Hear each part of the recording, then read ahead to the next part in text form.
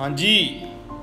Welcome back to my YouTube channel ਅੱਜ ਦੀ video ਆਪਾਂ ਇਲੈਕਟ੍ਰਿਸਿਟੀ ਬਿੱਲ ਕਿੱਦਾਂ Paytm ਨਾਲ ਪੇ ਕਰ ਸਕਦੇ ਹਾਂ।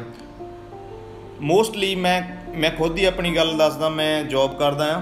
ਮੇਰੇ ਕੋਲ ਖੁਦ ਨਹੀਂ ਟਾਈਮ ਹੁੰਦਾ ਕਿਉਂਕਿ ਵਰਕਿੰਗ ਡੇਜ਼ ਦੇ ਵਿੱਚ ਅਸੀਂ ਬਿੱਲ ਪੇ ਕਰਨਾ ਹੁੰਦਾ ਆ। ਮੈਂ ਇਲੈਕਟ੍ਰਿਸਿਟੀ ਬੋਰਡ ਦੀ ਜਿਹੜੀ ਬ੍ਰਾਂਚ ਹੈ ਉੱਥੇ ਜਾ ਕੇ ਬਿੱਲ ਨਹੀਂ ਪੇ ਕਰ ਸਕਦਾ। ਸੋ ਕਾਫੀ ਜਣਿਆਂ ਨੂੰ ਇਹ ਪ੍ਰੋਬਲਮਸ ਦਾ ਸਾਹਮਣਾ ਕਰਨਾ ਪੈਂਦਾ ਹੋਣਾ ਜਾਂ ਫਿਰ ਕਹਿੰਦੇ ਹੋਣੇ ਕਿਸੇ ਨਾ ਕਿਸੇ ਦੀ ਮਿਹਨਤ ਕਰਨੀ ਪੈਂਦੀ ਹੈ ਕਿ ਤੁਸੀਂ ਮੇਰਾ ਬਿੱਲ ਪੇ ਕਰ ਦਿਓ ਪੈਸੇ ਲੈ ਜਿਓ।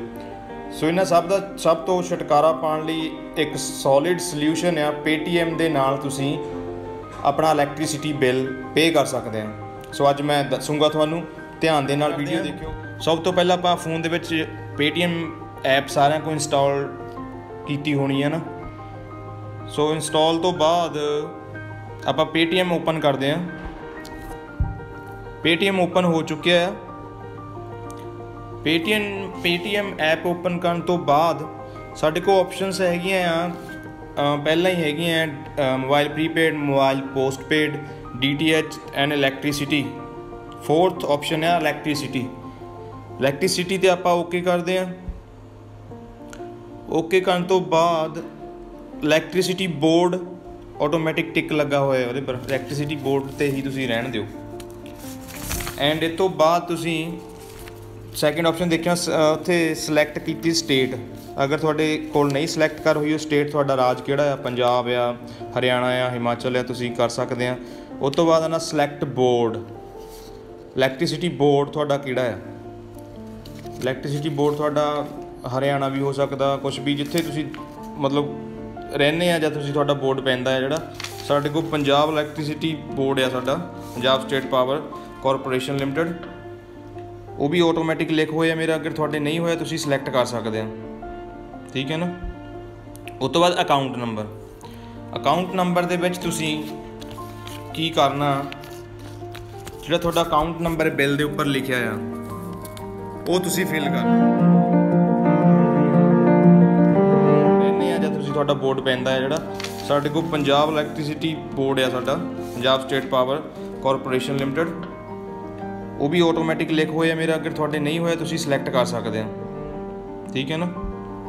ਉਸ ਤੋਂ ਬਾਅਦ ਅਕਾਊਂਟ ਨੰਬਰ ਅਕਾਊਂਟ ਨੰਬਰ ਦੇ ਵਿੱਚ ਤੁਸੀਂ ਕੀ ਕਰਨਾ, ਜਿਹੜਾ ਤੁਹਾਡਾ ਅਕਾਊਂਟ ਨੰਬਰ ਬਿੱਲ ਦੇ ਉੱਪਰ ਲਿਖਿਆ ਆ, ਉਹ ਤੁਸੀਂ ਫਿਲ ਕਰਨਾ। ਮੈਂ ਆਪਣਾ ਅਕਾਊਂਟ ਨੰਬਰ ਫਿਲ ਕਰਨ ਜਾ ਰਿਹਾ। N45 C F double three zero three six seven Y ਇਹ ਮੇਰਾ ਬਿੱਲ ਦਾ ਅਕਾਊਂਟ ਨੰਬਰ ਆ। ਇਹ ਤੋਂ ਬਾਅਦ ਮੈਂ ਡਨ ਕਰਦਾ। ਅਕਾਊਂਟ ਨੰਬਰ ਤੋਂ ਬਾਅਦ ਪ੍ਰੋਸੀਡ ਕਰਦਾ। ਪ੍ਰੋਸੀਡ ਤੇ ਓਕੇ ਕਰਦਾ। ਉਸ ਤੋਂ ਬਾਅਦ ਥੋੜੀ ਪ੍ਰੋਸੈਸਿੰਗ ਹੋਗੀ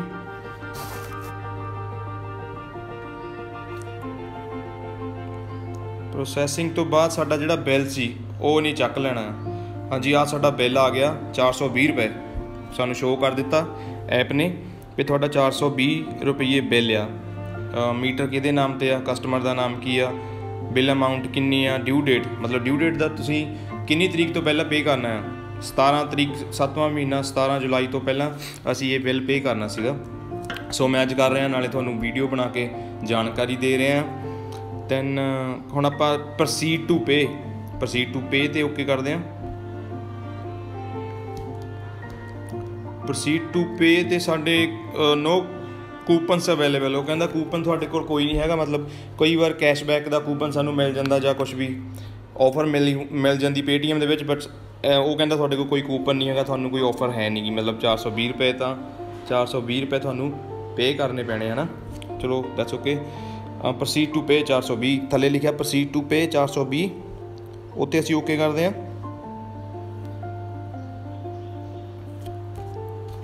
ਉਸ ਤੋਂ ਬਾਅਦ ਮੈਂ ਪਹਿਲੇ ਮੇਰਾ ਕਾਰਡ ਲੱਗ, ਇੱਥੇ ਮੈਂ ਸੇਵ ਕੀਤਾ ਹੈ, ਲੇਕਿਨ ਤੁਹਾਨੂੰ ਮੈਂ ਚੰਗੀ ਤਰ੍ਹਾਂ ਦੁਬਾਰਾ ਦੱਸ ਦਿੰਦਾ ਹਾਂ।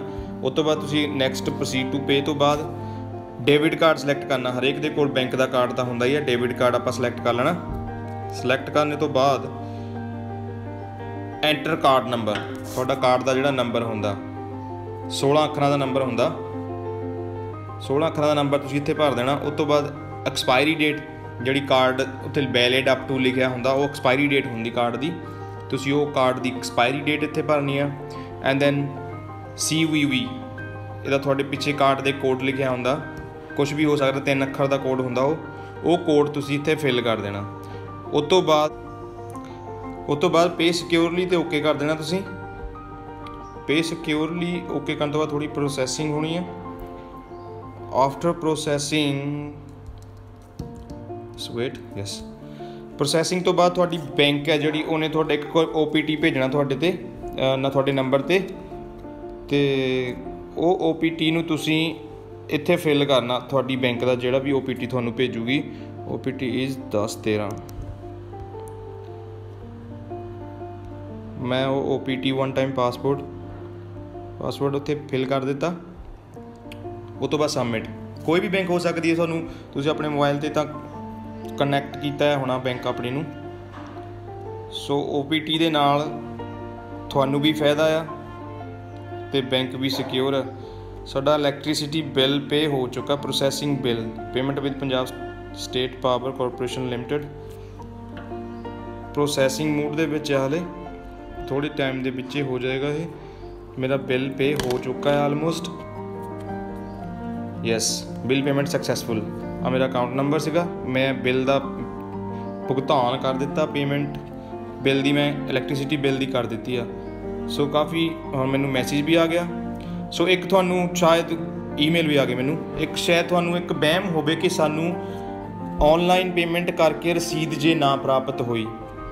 ਸੋ ਮੈਂ ਦੱਸਣਾ ਚਾਹਨਾ ਜਿਹੜੀ ਰਸੀਦ ਆ, ਇਹ ਤੁਹਾਨੂੰ Paytm ਦੇ ਵਿੱਚ ਵੀ ਇੱਕ ਰਸੀਦ ਰਸੀਦ ਮਿਲੂਗੀ, ਜਿੱਥੋਂ ਤੁਸੀਂ ਪੈਸੇ ਪੇ ਕਰਨੇ ਆ, ਉਹਦੇ ਵਿੱਚ ਵੀ ਇੱਕ ਸੇਵ ਹੋ ਜਾਣੀ ਰਸੀਦ।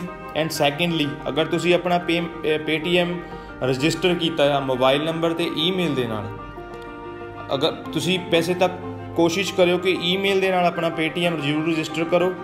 ਤੁਹਾਨੂੰ ਈਮੇਲ ਤੇ ਵੀ ਇੱਕ ਰਸੀਦ ਦਿੱਤੀ ਜਾਊਗੀ ਕਿ ਤੁਸੀਂ ਇੰਨੀ ਅਮਾਉਂਟ ਦਾ ਆਪਣਾ ਬਿੱਲ ਪੇ ਕੀਤਾ। ਇਨ ਕੇਸ ਫਿਊਚਰ ਦੇ ਵਿੱਚ ਕੋਈ ਪ੍ਰੋਬਲਮ ਹੁੰਦੀ ਹੈ, ਤੁਸੀਂ ਉਹ ਰਸੀਦ ਆਪਣੇ ਇਲੈਕਟ੍ਰਿਸਿਟੀ ਬੋਰਡ ਨੂੰ ਦਿਖਾ ਸਕਦੇ ਹਾਂ ਕਿ ਹਾਂ, ਅਸੀਂ ਇਸ ਮਹੀਨੇ ਦੇ ਵਿੱਚ ਆਹ ਬਿੱਲ ਪੇ ਕੀਤਾ ਸੀਗਾ। ਬਾਕੀ ਆਨਲਾਈਨ ਤਾਂ ਸਾਰਾ ਉਹਨਾਂ ਕੋਲ ਡਾਟਾ ਹੁੰਦਾ ਆ ਕਿ ਹਾਂ, ਕਿੰਨੀ ਤਰੀਕ ਨੂੰ ਤੁਸੀਂ ਅਮਾਉਂਟ ਕਿਹੜੀ ਪੇ ਕੀਤੀ ਆ ਬਾਕੀ ਮੈਂ ਆਸ਼ਾ ਕਰਦਾ ਕਿ ਤੁਹਾਨੂੰ ਥੋੜਾ ਜਿਹਾ ਅੰਦਾਜ਼ਾ ਹੋ ਗਿਆ ਹੋਊਗਾ ਕਿ ਅਸੀਂ ਇਲੈਕਟ੍ਰਿਸਿਟੀ ਬਿੱਲ Paytm ਦੇ ਨਾਲ ਕਿੱਦਾਂ ਪੇ ਕਰ ਸਕਦੇ ਹਾਂ। ਸੋ ਜਲਦੀ ਜਲਦੀ ਨੈਕਸਟ ਹੋਰ ਵੀਡੀਓ ਕਾਫੀ ਬਣਾਵਾਂਗੇ। ਇਹ ਵੀਡੀਓ ਸਾਰੀਆਂ ਦੇਖਣੇ ਦੇ ਲਈ Paytm ਨਾਲ ਰਿਲੇਟਡ ਕਾਫੀ ਮੈਂ ਵੀਡੀਓ ਅਪਲੋਡ ਕਰੂੰਗਾ। ਸਾਰੀਆਂ ਵੀਡੀਓ ਦੇਖਣ ਲਈ ਮੇਰਾ ਚੈਨਲ ਸਬਸਕ੍ਰਾਈਬ ਕਰ ਲਓ ਐਂਡ ਬੈਲ ਬੈਲ ਆਈਕਨ ਦਾ ਬਟਨ ਦੱਬ ਦਿਓ। ਤਾਂ ਜੋ ਤੁਹਾਨੂੰ ਕੋਈ ਨਵੀਂ ਵੀਡੀਓ ਮੈਂ ਪਾਣਾ ਆ ਉਹਦੀ ਨੋਟੀਫਿਕੇਸ਼ਨ ਜਲਦੀ ਮਿਲ ਜਾਇਆ ਕਰੇ। ਸੋ ਅੱਜ ਦੇ ਲਈ ਇੰਨਾ ਹੀ। ਥੈਂਕ ਯੂ ਗਾਇਸ ਮੇਰੀ ਵੀਡੀਓਜ਼ ਨੂੰ ਪਿਆਰ ਦੇਣ ਲਈ ਕਾਫੀ, ਹਲੇ 100 ਸਬਸਕ੍ਰਾਈਬਰ ਮੇਰਾ ਹੋ ਚੁੱਕਿਆ ਹੈ। ਕਾਫੀ ਅਨਸਰ ਜਿਹੜੇ ਮੇਰੇ ਸਬਸਕ੍ਰਾਈਬਰ ਨਹੀਂ ਹੈਗੇ, ਉਹ ਵੀ ਵੀਡੀਓਜ਼ ਦੇਖਦੇ ਆ। ਤੁਸੀਂ ਵੀ ਦੇਖਦੇ ਆ। Thank you so much guys ਮਿਲਦੇ ਆ ਨੈਕਸਟ ਟਾਈਮ